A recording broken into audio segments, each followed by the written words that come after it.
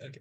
Hi, everyone. Uh, my name is Enzo Cunanan, and I am the uh, social media rep for the Oxford University History Society. Today, we are very proud and honored to have uh, Professor Matthew Restall from uh, Pennsylvania State University here to talk with us today.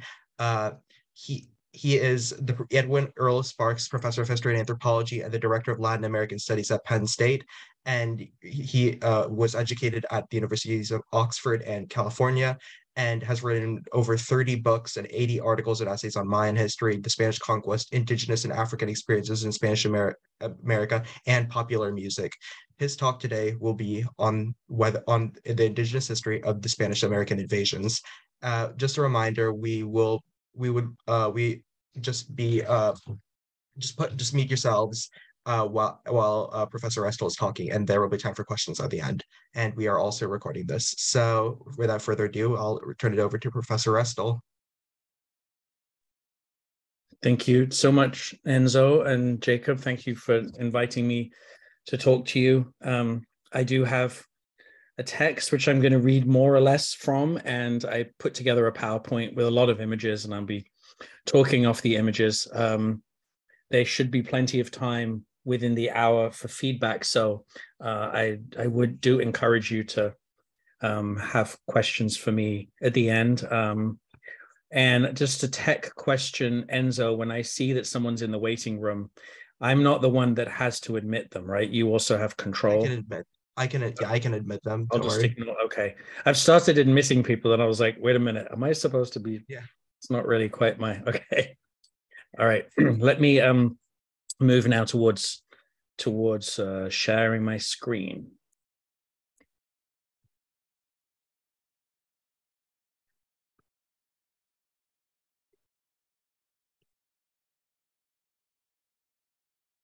Okay, and does that look does that all look correct, Enzo? Yeah, excellent. Okay. Uh, so conquerors control narratives. This we know. And yet, in the case of the Spanish conquest, we have for five centuries accepted without question the narrative that the conquerors created. Even that label, the Spanish conquest, and the labels nested within it, such as the conquest of Mexico, privilege the narrative of the conquerors, or rather, of the invaders, as any real revisionist approach to this history must begin with a rethinking of its core terminology.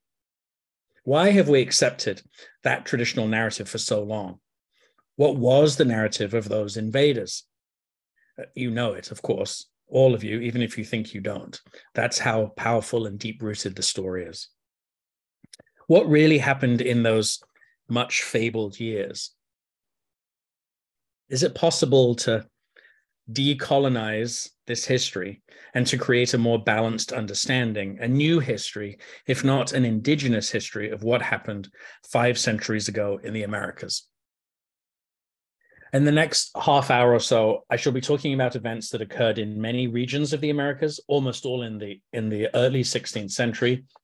But my focus will be on Mexico and the invasion war there of 1519 to 21 partly because that was the focus of my most recent books on the Spanish American invasions, but also because this is a vast history and Mexico offers some usefully stark examples of the points to be argued. But this is this is the book plugging part. Um, but of course, there's also a larger history which I've been attempting to engage um, for about 25 years now. Um, so there'll be some non-Mexican references as well. Um, and mostly those will come from the Maya area because that's what I um, have written on before as well. Here's a map that I drew for one of my books. There was a time when I drew my own maps. I thought they were kind of like Captain Crunch maps from a cereal box or something, but press editors seem to, to like them for a while. Um, and this is just to help orient you um, to a geography that you probably know to some extent. When I talk about the Aztec Empire, it's this part here, which I've rendered like kind of like a rash, rather unfortunately. Um, and then when I refer to the Maya area, it's this area here, and I make a, just a few passing references to Highland Guatemala down here, and then northern northern Yucatan up here. Um, I'm not going to remind you of the narrative that was created by the conquistadors, at least not by giving you a detailed recounting of it. Um, that would take hours. I don't have time for that. But also, I fear it would have a counterproductive confirmation bias effect. In other words, it would just sound too true. And, and as you'll see when I get to going through the structure of my of my talk, um, I'm run, I do run the risk of telling you things which I'm going to then tell you are wrong. But in the meantime, the risk is that you become convinced of them. I, and I've written in a couple of my books about the narcotic effect of Cortez's so-called letters or letters to the king and the traditional narrative drawn in part upon those misused propaganda reports um, and that can have a similar kind of effect anyway instead what i'm going to do is identify 10 key elements of the narrative established by the invaders their promoters and the royal chroniclers of the early modern era and again i'm leaning heavily on mexican examples so i'm going to go through num- these numbered points 1 through 10 and the first time I go through the 10, I'm going to be giving you a particular perspective on the traditional narrative. And then I'm going to go back and give the same one through 10 and essentially kind of attack myself and undermine as much as possible um, everything that I've that I've already said.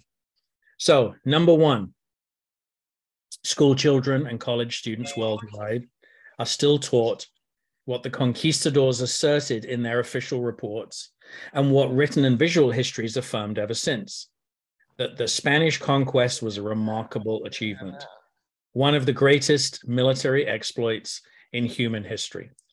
True, though. The so called conquest of Mexico has been highlighted as the exemplar of that achievement, as the rapid and remarkable triumph of a few hundred intrepid adventurers against an empire of millions. Sounds familiar, right? Two, credit for the Spanish conquest has tended to go to a short list of explorers and so called generals. This begins with Columbus. Whether he's being defended as an agent of civilization and divine providence, or vilified as the founding father of genocide, slavery, and oppression in the Americas, whether he's being apotheosized on Twitter or his statues are being pulled down, he's still credited with everything that happened in his lifetime and beyond. With respect to Spanish conquistadors, the credit tends to follow the boundaries of modern nations. So in the US, Columbus, for complex reasons, but largely to do with modern era Italian migrants, uh, Coronado, and as we see here, De Soto. In Guatemala, it's Pedro de Alvarado. In Peru, Pizarro. And in Mexico, that astonishing victory has been largely, remember, I'm giving you the, the other position I'm going to argue against, right? And that astonishing victory has been largely credited to the military genius of one of history's great generals, Hernan Cortez or Cortez. So here they are, right? The uh, the great white men who did it all, apparently, built the empire. Now I'm being sarcastic, so I'm already going against my argument. It's, it's hard to resist. Okay, that was point two. Point three the success of Spanish conquistadors such as Pizarro and Cortez has been traditionally contrasted with the failure in leadership of indigenous rulers. Such rulers have been depicted as divided among themselves, too weak or blind or barbaric to see how disunity condemned them to defeat. And here, I, as I'm talking, I know you have to like somehow listen to me and look at the images as well. But uh, this is what's this is what was presented to ch- children in Mexico in the early 20th century. These wonderful little books. Um, just the covers alone convey so much of the of the conventional narrative and kind of the, the, how it had evolved by the time we get to the end of the 19th century. We can see the um, it's it's a sympathetic but nevertheless very negative view there of of Montezuma on the right.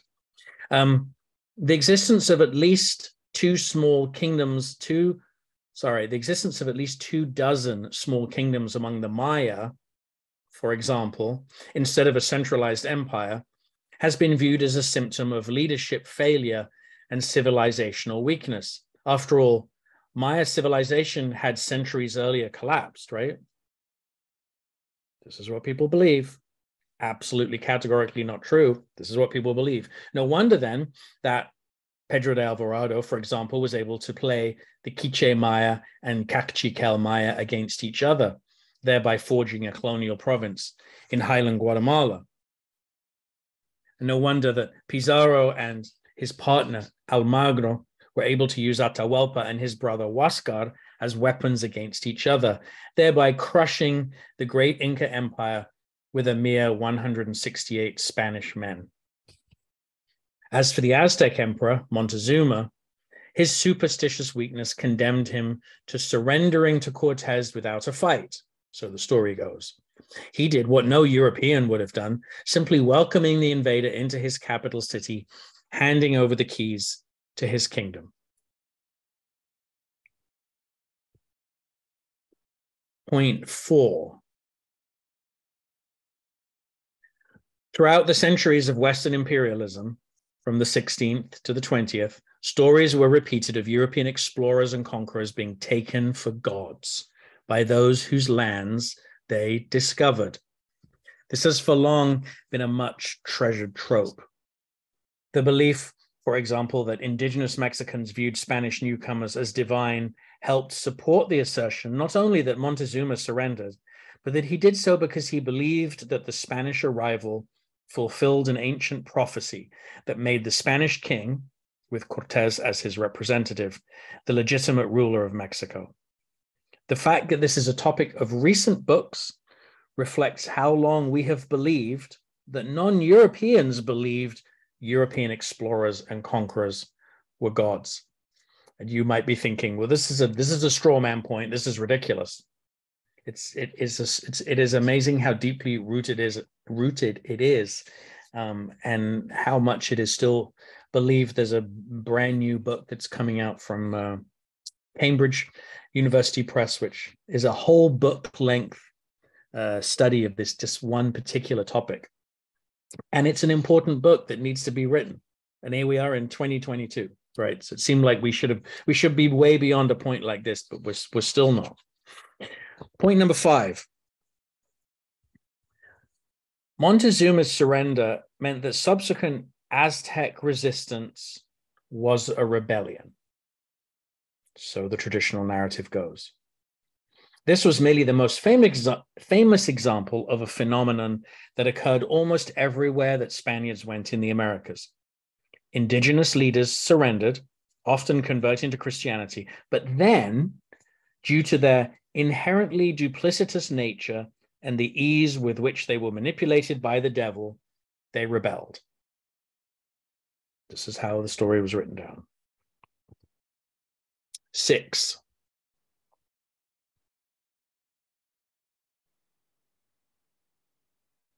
Everybody loves this topic and it's one of the most problematic. So, supposedly, the conquistadors tell us, and we still see in books like Angry Aztecs, which, as far as I can tell, is the best selling book in the English language in the world on, on the Aztecs. The Aztecs were bloodthirsty and superstitious, obsessed with human sacrifice, helping to explain why their rebellion was so violent, but also helping to explain why the terrified subject towns of the Aztec Empire were so quick to flee Aztec tyranny and embrace the new rulers and new religion. Likewise, the Incas were tyrannical rulers, and thus subject peoples up and down the Andes gratefully welcomed Spanish rule. The same argument was applied for centuries throughout the Americas. To this day, indigenous cultures, such as the ancient Maya, to pick one example, are viewed as having been great sacrifices of humans, including their own children, and cannibalistic too. You can be sure I'll be coming back to that point. That was number six on human sacrifice. Number seven, Indigenous peoples often welcomed Spanish invaders, many of them quick to accept conversion and Spanish sovereignty. For example, Cortez can be credited with identifying Tlaxcala as a crucial ally against the Aztecs. Tlaxcala being a central Mexican city state whose form of government was more like that of ancient Republican Rome, in contrast to Aztec tyranny, and whose people consequently immediately embraced Christianity. Remember, almost everything that I just said there, I'm going to be arguing against, but that is absolutely a part of the conventional narrative. Um, and here, this map, um, there's Tlaxcala right here.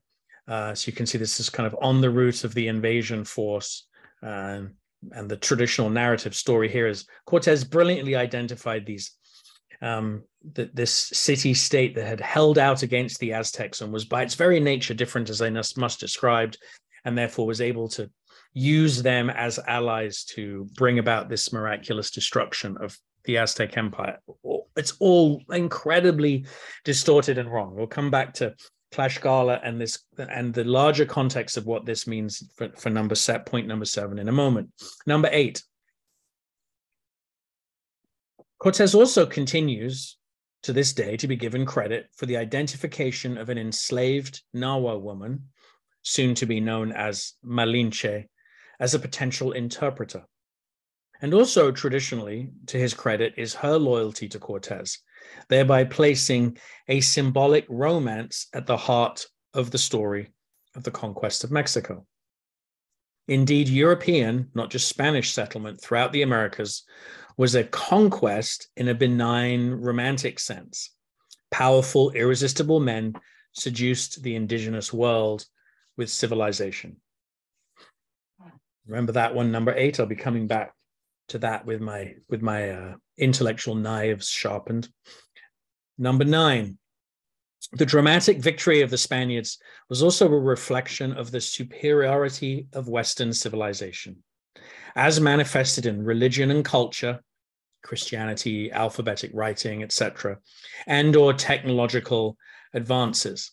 I put this slide up here to illustrate ships, guns, steel weapons, so this might seem like a somewhat outdated point. You might think, well, most people surely aren't going around saying, oh, Western civilization was superior. Well, the thing is, actually, they are. Um, but not only that, but often this point is kind of coded. So whereas hundreds of years ago, Spaniards um, or other Europeans would have put it simply in religious terms, you know, we had we had the true religion, they didn't. That makes us better. Full stop. Um, nowadays there's uh, the technological advances um, or supposed marks of superiority used kind of as a, as a substitute for that. So um, alphabetic writing or writing which is obviously a point that is wrong and shows a misunderstanding of writing systems in the americas um, or guns for example which likewise shows a misunderstanding of the nature of guns um, at the time. Uh, this image is obviously not a photograph of what was happening in 1519. And in fact, uh, even though it was created in Mexico, what it what it gives you is a depiction of um, not so much the ships, although to some extent the ships too are wrong, but the armor and the artillery and so on is all late 17th century. This is not from 1519. So, um, you know, this isn't just about uh, um, the, the understanding of this being done being depicted wrongly in the modern period because we don't know enough about the 16th century. It's happening all the way back in the early modern period itself. All right. The last one number 10 because the conquest was so swift it soon gave way to the long colonial period. Colonial foundation dates therefore became set in stone later becoming similarly foundational to modern nation states Thus, at the end of the siege of the Aztec capital of Tenochtitlan in August 1521, that marked the complete collapse of the empire and the foundation of the Spanish colonial kingdom of New Spain. In 2021, Mexico was thus able to celebrate its bicentennial as a nation state and the quincentennial. Okay, that's the traditional narrative. Now, the second half of the talk, the, the decolonized narrative. Um, we have a little introduction to this before I get to points one through 10. A reading of the sources that created this traditional narrative from so called letters of Cortez through to modern accounts based on those sources by historians like William Prescott in the 19th century, Hugh Thomas in the 20th. A reading of those sources lends the narrative the false impression of veracity. But we can see through that story. We can cut its loop of lies if we reread those sources with a critical understanding of the political purpose behind every source. There's also a growing body of indigenous authored sources, visual and written, many in indigenous languages, that can problematize the traditional narrative in productive ways. This uh, Maya Kaqchikel example on the right there. We can apply common sense and skepticism to truth claims that cannot be corroborated by multiple sources. So, no account, be it in Spanish or in Nahuatl, in Latin or in Maya, in English or in Quechua, should be taken on face value. Um, and here, I love this beautiful letter um, that uh, is in the Spanish Imperial Archives in Seville in the Archivo General de Indias, um, written in uh, an amazing Latin uh, by Montezuma's nephew.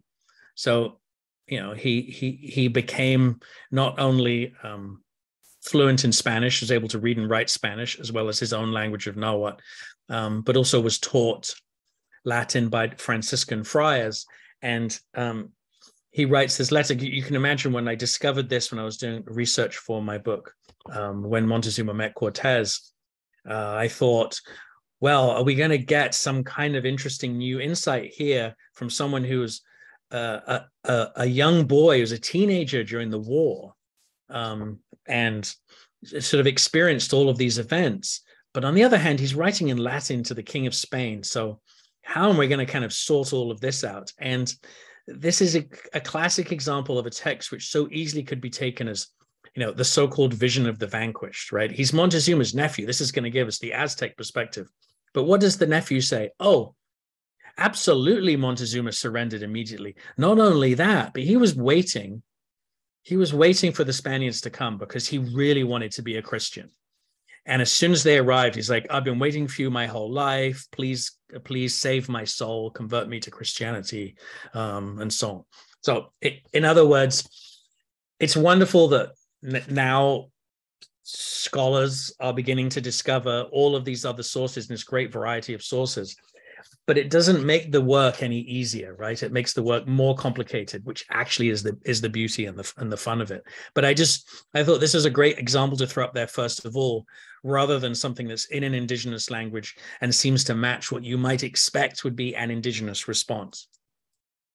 Um, and then the other slide here i have a, is example of two different maya um, accounts the one on the uh, left in Kaqchikel, which I showed a moment ago, and then one on the right in Yucatec Maya, which I um, uh, we'll mention again a little bit a little bit further on. So, um, continuing my little introduction here, we can place also place 16th century sources, those that established the traditional narrative within the larger context of European imperialism in the Atlantic world, and that includes U.S. imperialism in the Americas, and its civilization versus barbarism justifications. There's a lot in that sentence, but what I'm trying to um, allude to there is a lot of material that's in a couple of my recent books in which I'm arguing that we cannot understand what happened in the 16th century without understanding why all through the 17th, 18th, 19th, and 20th centuries on both sides of the Atlantic, the traditional story of the conquistadors was repeated and repeated and enlarged and made more elaborate and so on. And of course, it's that all of that is to do with that, that history of European imperialism. So by applying these rereadings, another narrative is revealed, one that's less tidy, less reassuring, but more believable and far better supported by evidence. It also allows us to see not an or the indigenous history, but numerous indigenous histories. Because the notion of one indigenous perspective is itself a product of the colonialist invention of Indians. Those multiple indigenous histories, however, do have the effect of decolonizing the conquistador narrative. An effort, I might add, that is decades older than the current vogue for the phrase decolonization. Schools or movements of scholarship, such as the new philology, the new conquest history, and so on, many with roots going back as far as the 1970s, have for generations been reconstructing indigenous perspectives. So, in this new corrective telling of history, let me get to the 10 points. Number one, Spaniards did not simply conquer, they invaded. And most of those invasions were failures, with extremely high mortality rates among the invaded and among and among the invaders, sorry, and among the invaded too, due to indiscriminate slaughter, mass enslavement, and the spread of disease pandemics. Um, this is kind of a cheap shot here by using uh, sensationalized engravings in Dutch and English editions of Las Casas' devastation of the of the Indies. Um, if if you're not sure why, I think it's a cheap shot. I can come back to this later in the Q and A. In Mexico, for example, the Spanish invasions of 1519 to 21 set off a brutal and messy war within the Aztec Empire in which hundreds of thousands of indigenous families were torn apart by civil conflict, slaughter, enslavement, and epidemic disease. If there was a conquest, it was not simply Spanish, as the empire centered on Tenochtitlan was not destroyed, but thrown into disarray by internal divisions, with 98% of the combatants besieging the capital in 1521 being indigenous. That's right, the Spanish siege of Tenochtitlan, resulting in their great victory consisted only 2% of Spaniards. Those indigenous warriors attacking Tenochtitlan included those from the Aztec city state of Texcoco, which was the second ranked city state in the empire. The Spanish invasion caused the war, but Spaniards neither controlled it nor were they the primary active protagonists. Calling it the Spanish conquest is pure propaganda, which was the whole point. Secondly, Hernan Cortez was not Hernan Cortez. He was Hernando or Fernando Cortez. Hernan is a is a kind of a is an is a modern abbreviation, whatever. Maybe that's too nitpicky. But he was not a general. That's not nitpicky. Um, there were no generals. The conquistadors were not soldiers in an army. They were armed, but they were armed investors or entrepreneurs, settler colonists, and slave traders.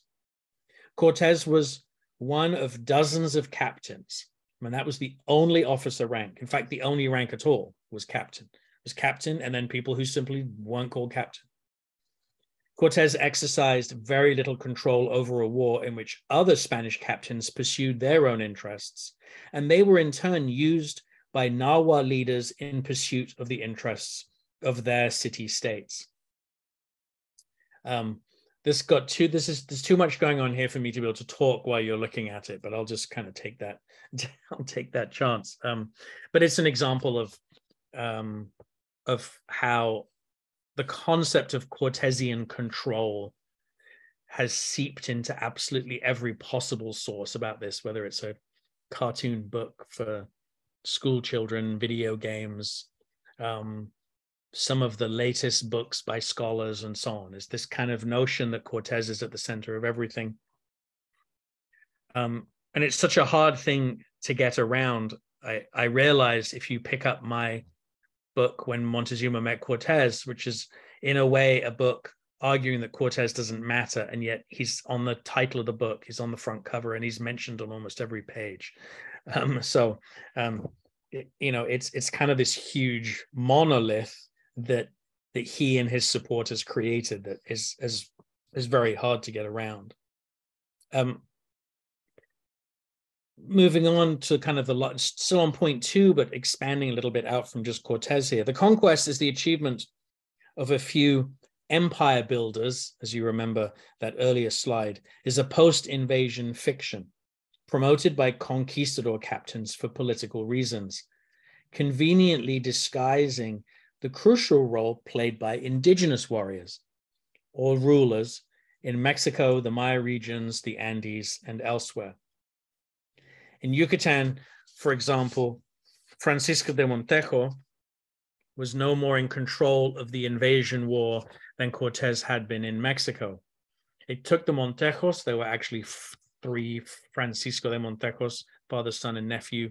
It took them three separate invasions, 20 years, and tens of thousands of Nahua warriors in order to establish a colony that in the end comprised a mere 20% of the Yucatan Peninsula. And it was Maya rulers of the Pech, Xiu, and other ancient dynasties who determined where that colony would sit and even whether it would exist. Um, and I put that cover of my of this book of mine. This is the first book I wrote on this on this topic. This is pretty old now, from 1998. Almost none of you um, listening to me were born then. I realize. Um, but the reason I called it Maya Conquistador was because in this in this Maya text here, which is the, the page, there's a page example on the right.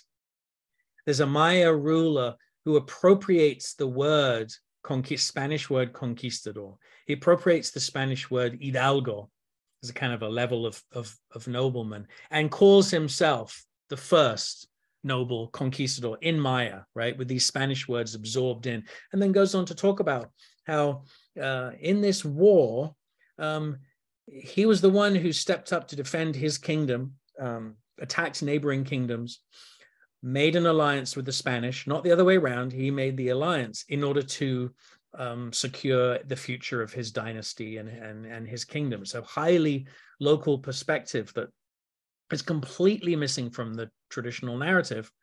Uh, uh but it's, it's not just a corrective, but it also helps us to understand and explain what happened. It just makes so much more sense than the idea of a few hundred Spaniards achieving miracles. Okay, point three.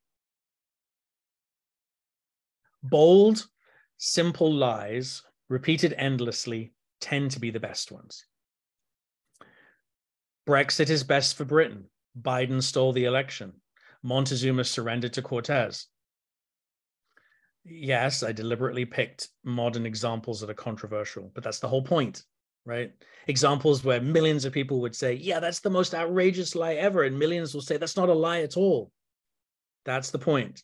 Montezuma surrendered to Cortez. Oh, uh, no matter that the evidence overwhelmingly proves the opposite. For according to the rules of both evidence and common sense, Montezuma never surrendered to Cortes or to any Spaniard. Indeed, he hosted the invaders in his city for six months until they became violent, started a war, and then murdered him. After which, they then set about assassinating his reputation, and it has yet to recover. And that brings me into the fourth point. The supposed prophecy was a later invention, a merging of the Mesoamerican mythology of Quetzalcoatl with the Christian mythology of the second coming. And you know, as a sidebar, I found this this idea that um, Montezuma believed that Cortez's arrival was prophesied. For some reason, I found it more deeply rooted in Britain than in the United States. Um, and for a while, I was quoting the catalog of this wonderful exhibit that was at the British Museum um, on the Aztecs, uh, which was the and it was this was uh, early two thousands, so it's, you know, 21st century bold statement is absolute fact that that Montezuma was his big mistake was he superstitiously believed this prophecy and so on. Um, so it it it is very much still deeply rooted in in I'm not quite sure why in Britain. I suspect there's a couple of key publications by British um, scholars that had that kind of resonated more. Um, but it might there might be something deeper and darker to do with the British Empire. I don't know. Anyway, in Mexico, as in other regions of the Americas, the invaders not only wrote the history of the conquest, but they also rewrote the indigenous past and reinvented indigenous cultures, all with a view to lending support to their justificatory narrative of conquest and colonization. With the Franciscans and other mendicant orders playing central roles in that project, millenarianism was weaved into the indigenous past, distorting its understanding all the way through to the 21st century. So when you see something that's being presented to you as being somehow a, a kind of a pure um, recounting of some aspect of the Mesoamerican past, Maya culture, Aztec culture, something like that. And it's there seems to be kind of some weird sort of echo of something that also sounds familiar in another way, like the second coming of Christ. Um, I'd suggest to you that that is not coincidental. Um, and you should also know that there are lots of scholars who will argue with me about that, right? Saying, no, no, no, it's coincidental.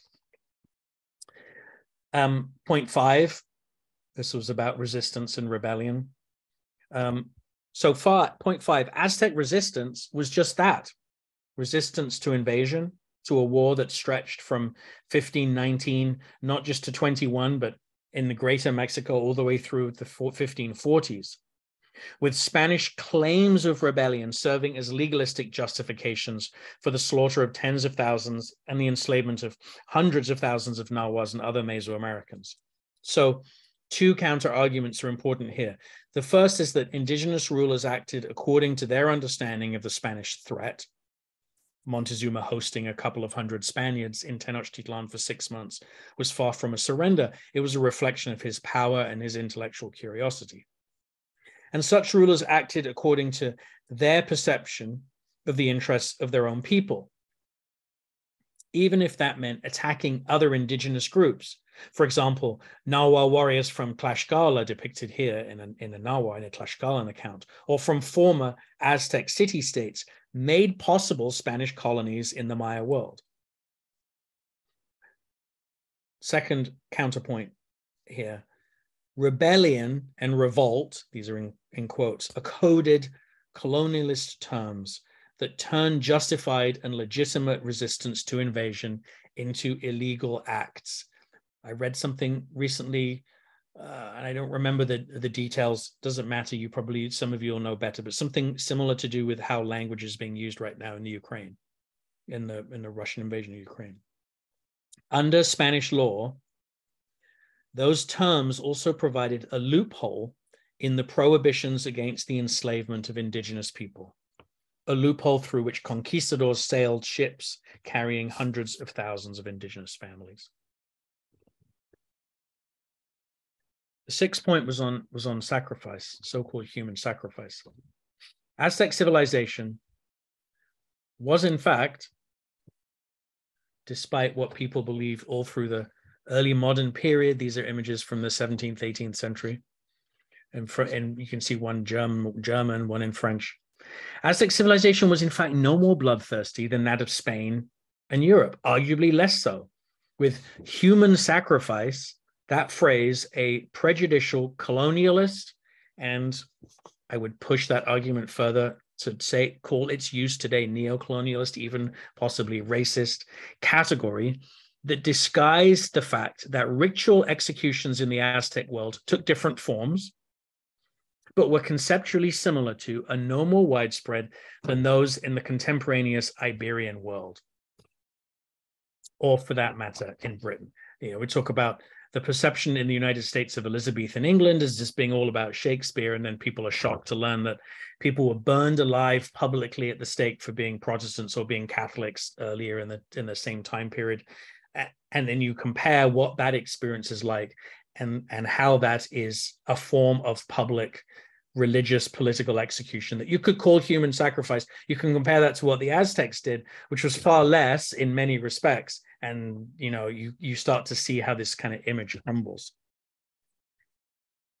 One of the great acts of violence against indigenous cultures has been the European obsession with sacrifice, above all, so called human sacrifice, as a trope that exoticizes and exaggerates indigenous violence.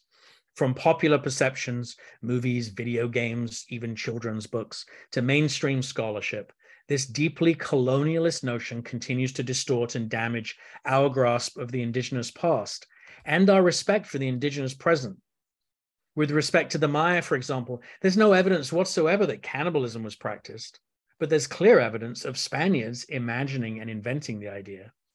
And while Mayas waged war, sometimes brutally, and they ritually executed captives and criminals, they did so no more than any other human society, and I would argue less so than 16th century Spaniards. To characterize such acts of violence in Maya history as human sacrifice is to disguise prejudicial and bigoted speculation as scholarly analysis, no different in effect from the colonialist methods of the Franciscans and others who sought to study Maya, Aztec, and Inca cultures in order to denigrate, destroy, and replace them. That's pretty rhetorical, but I hope I'm kind of making the point with a little, you know, with a drum roll. Um, and that rolls us into seven, where I talked about Tlaxcala, but there's a larger point here. So the truth is that Tlaxcala's form of government was the same as in all Nahua city states and towns, both those within and outside the Aztec Empire, with its republicanism and first to convert status part of a colonial era micro patriotic myth. Now, what's the larger context here? Central to the European perception of indigenous Americans, beginning with Columbus and rooted in medieval views of non Christians, was the idea that there were good Indians and bad Indians. That simple duality was apparently well evidenced in the Caribbean, where the supposedly docile Arawaks were contrasted with the cannibalistic Caribs right? And and this is an this is ethnogenesis on the part of europeans right? They kind of in, they're inventing these ethnic categories as well as their attributes. It also surfaced on the mainland where certain indigenous peoples um, the british like to use the colonialist term tribes. That's used less less here. But um, anyway they were labeled as good or bad civilized or barbaric easy to colonize or intransigent. The myth of Tlaxcalan exceptionalism is an expression of this false duality.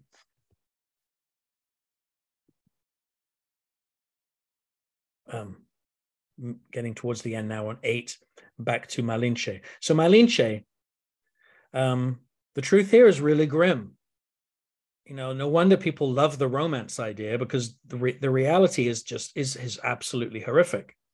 So far from a romantic figure, she was a girl of 12 or 13 when she was acquired by the Spanish invaders, and she's best understood as one of tens, perhaps hundreds of thousands of indigenous girls forced into the transatlantic traffic in slaves. There's a, I don't really like the term sex slaves, um, but so I put it in inverted commas, but until I can think of a better way to put that, that's what they were. And this trade stretches from the 1490s right through into the 17th century. She was far from being unique as a victim of that trade, just as Cortez was far from being a unique as a rapist of indigenous minors. That sounds like a like really putting it rhetorically, but um, it's really hard to escape the simple accuracy of that of that tag. There was no Cortez Malinche romance. She was a victim of child abuse giving birth to Cortez's child nine months after she ceased to be useful as an interpreter when she was then passed on, given to another Spaniard. She was still a teenager. This is a statue of Cortez and Malinche with their child. Um, in Mexico City, the statue was, um, you know, controversial in Mexico and was attacked, and so it was moved to an obscure corner in a park from where somebody stole um, the child and no one knows where it is or something kind of symbolic in that when the when the when he was just a boy cortez took him away from his mother and sent him to spain to be a page at the, at the court of the king of spain. Um, malinche never saw her son again. By the time he came back to mexico she was dead. And when he comes back to mexico he's accused of rebellion and is tortured. He's waterboarded and put on the rack and he spends the rest of his life crippled. The whole story is just grim. It just gets grimmer and grimmer, right? Um, the romanticization of the Cortez Malinche story is therefore kind of a, a hideous, grotesque distortion of a grim, oft ignored, oft ignored history. I stopped talking because my PowerPoint is frozen, which means I probably put in an image that was too high in resolution. Try that. There we go. Um, even its parody reflects a deeper unwillingness to accept this dark truth. Netflix. And here I put that red arrow in so that people would see how this was the love story of Malinche and, Cortez. The larger context to this point relates to the gendering of the conquest. Powerful, irresistible men, as I put it earlier, did not seduce the indigenous world with civilization. They subjected the indigenous world to systematic abuse. But that idea was readily embraced by Europeans in the centuries when their empires dominated the globe. From the era of Columbus and Vespucci, this is an image often reproduced. That's supposed to be, that's Vespucci on the left, holding the symbols of his technological superiority, right? And that, and the naked woman in the hammock represents America.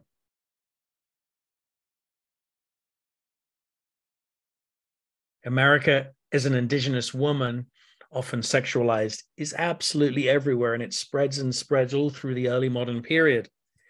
And that example on the left, you won't recognize it, but Americans immediately do. She's on top of the US Capitol building.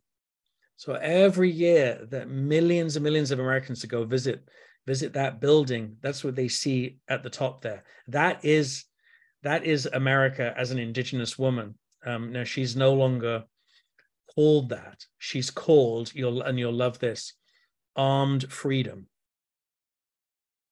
But she's part of a tradition that, that, that we can see here. And in fact, when you go inside the Capitol building, um, there are many examples depicted inside of America um, who looks more traditionally like this as sort of some kind of topless non-European woman.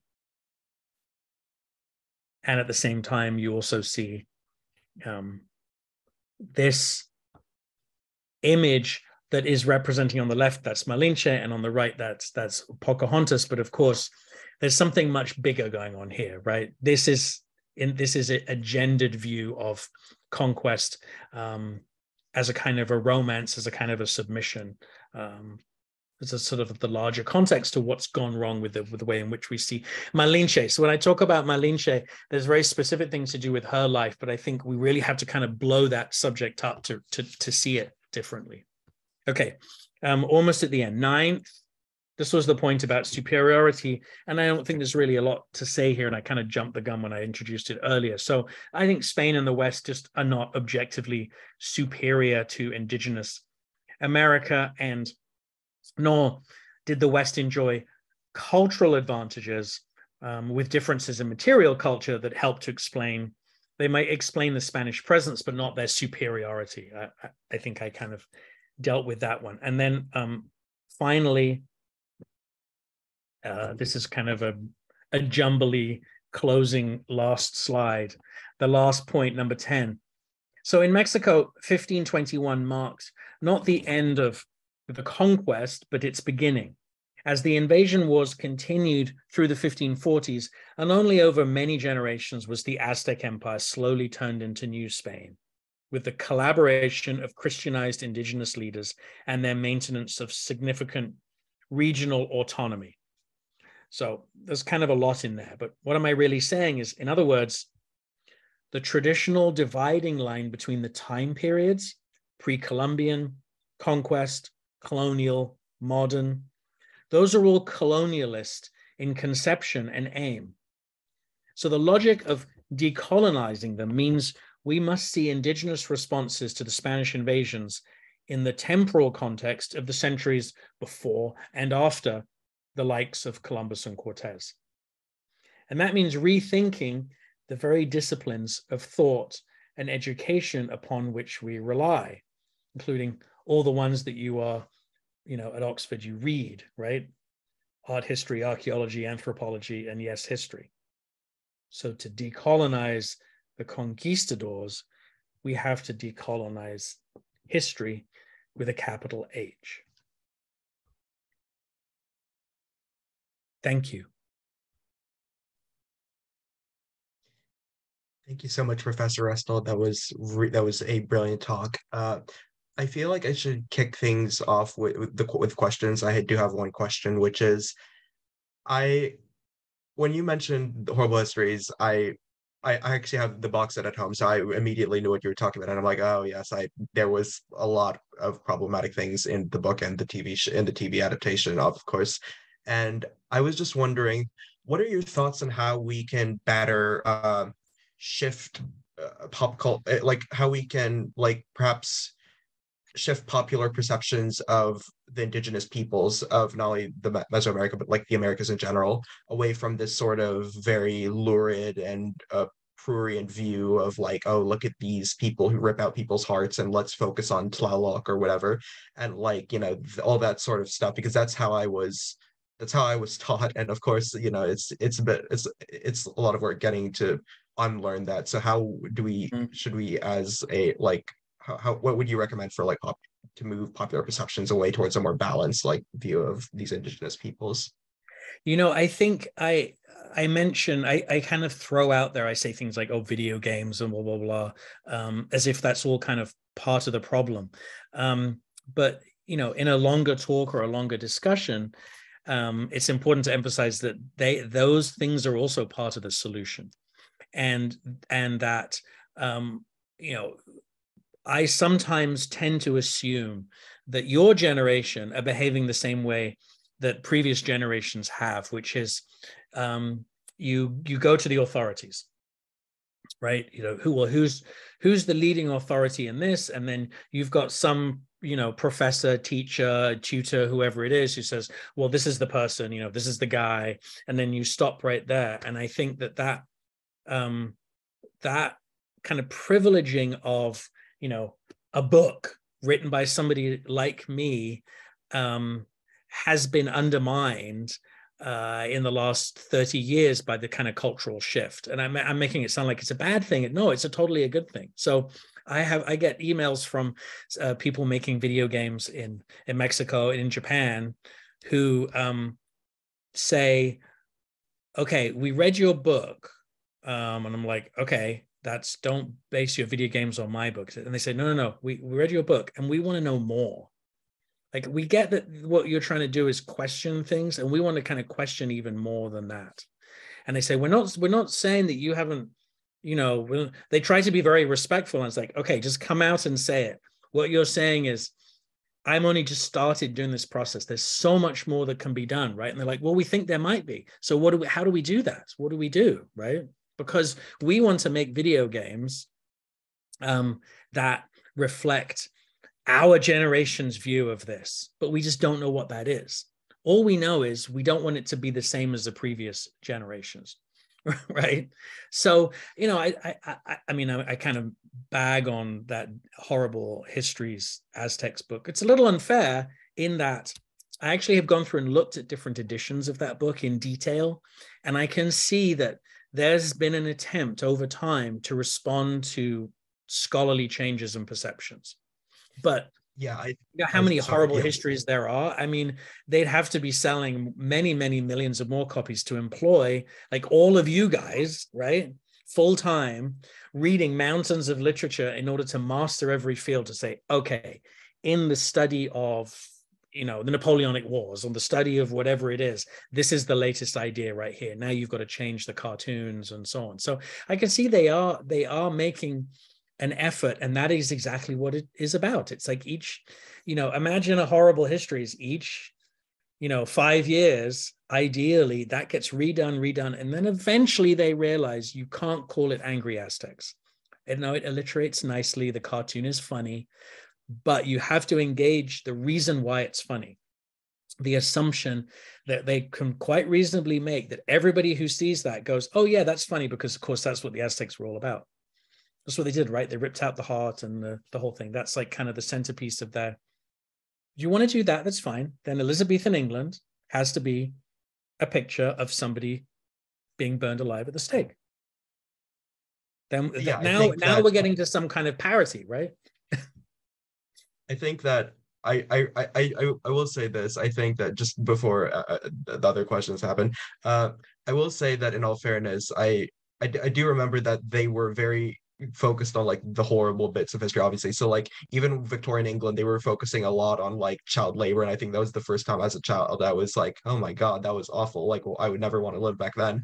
But like uh uh, yeah, but the obviously the TV show is a bit problematic because it shows how much attitudes have changed even in the last decade because they they were getting white actors in brown face essentially, and mm. I was looking at that and I didn't realize anything was wrong as a child, but as which is weird because I'm like a person of color, but like I look at that now and I'm like, yikes that's i don't know how anyone signed off on that even in 2010 or whatever and like you know obviously that wouldn't happen now so like you know there's a shift in attitudes but yeah yes, thank I, you yeah i totally agree you know and i i feel very i feel so much more optimistic about you know what you're what you're talking about enzo you know how this gets changed than i than i did 10 years ago and that's from you know talking to people like you, people like you. I mean, like students, students at Penn State, students at Oxford, students wherever. I, I have lots of these conversations, and you know, sometimes I think, oh, maybe I'm just banging away in the the wrong thing. Like, am I preaching to the converted here?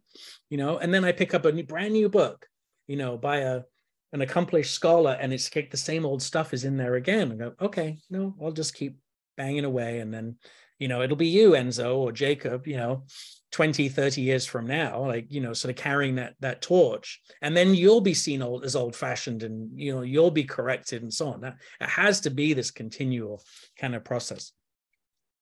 Are there other questions? You we have another five minutes right? Morgan. Yes thank you so much. So that was a fantastic talk. Um, and it's funny that the topic of your of this talk is really something that is even a, a sort of something that I was questioning today when I was reading uh, a book about uh, the the conquest of Colombia, and this word conquest is it's everywhere in the literature, and like you said in in the talk that the term conquest privileges this this classic perspective, the narrative of the Spanish invaders, and you know, in my own papers uh, throughout, you know, sort of like my academic career, I'm constantly using this term. And so, what, in your opinion, would be sort of a better term to use? And I know that's. I know it's hard, and the terminology thing. It's it's both really important, and at the same time, you know, one has this kind of like let's just move on from it. Let's just accept sometimes we have to use, right? That some we can't get around. Um, I I think in I noticed at some point in my own work that I had been using conquest without thinking about it, and then the a book I published in 2005, which I that was one of the covers that came up, it's called "Invading Guatemala," and it was actually coming up with the title of the book that made me realize because I, I, was like, I don't I don't want to call it the conquest of Guatemala. I want to call it invade. And then I thought, I don't want to use that word at all, right? and so I started using invasion as a as a as a as a kind of another term.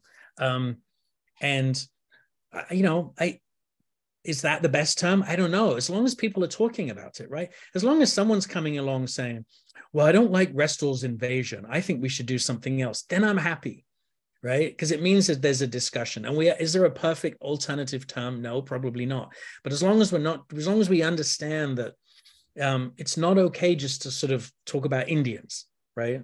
It's not okay just to talk about like the, the like now there's um, a, a kind of a shift that's taking place very quickly about talking about slaves so that we don't talk about slaves, we talk about enslaved peoples and so on. And I've had discussions with people like, does it really make that much difference? And they're saying, well, it's that's not really the point. The point is that we're talking about it and why, because it's then it opens a door to thinking more creatively about the experience of people who are put in that category right and so it just it leads in so many other directions um, i also have been coming up with put possibly eventually people would say these are kind of rather silly things where like the aztec spanish war there's this there's a there's a spanish maya 30 years war that I've been talking about because like there was no conquest of the Maya, right? There wasn't a conquest of Yucatan.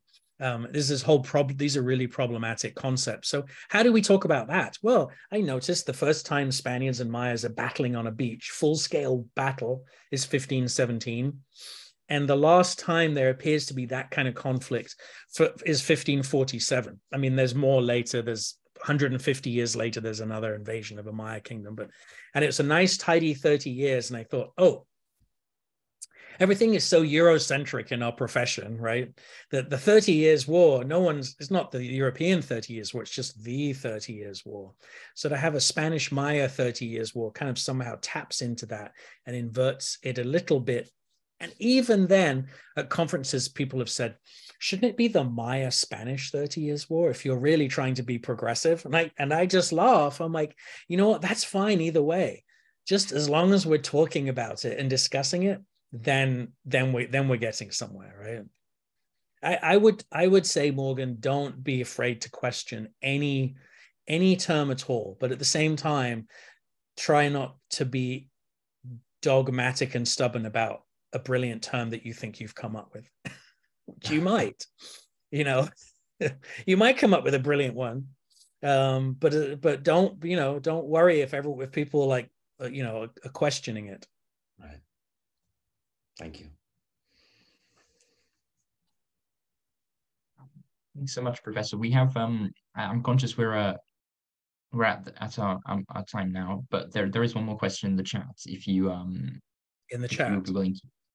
Oh yes, yes, I did see that from Mary. Um, yeah, I I I get asked that often, especially when I'm talking a lot about Mexico. Can we do new conquest history? Um, yeah, I mean, yes, of course. The answer has to always be yes. You can there can there can be a revisionist history, new conquest history, any region of the Americas, and if the indigenous peoples in that region either did not have a writing tradition, or the writing tradition they had did not translate into them writing in their own language, you can still access their voice, right? It it it might be harder, but you can still do it. I mean, just think of that example of the of Montezuma's nephew writing in Latin. Um, it's not so much about the language; it's about the authorship and the purpose and how we kind of read through those. Um, so the fact that we don't have Mapundung, Ma, I don't know how to say Mapuche language, Mapudungun um, uh, la, uh, language sources should not be seen as like, oh no, we can't do it. I don't, I don't think so. Um, and then someone saying they have a Quechua class. That's awesome. Um, I love that. There are people watching this that are going off to learn Quechua. That's brilliant. Thank you so much for inviting me. Thank you for your attention, everybody, and your questions.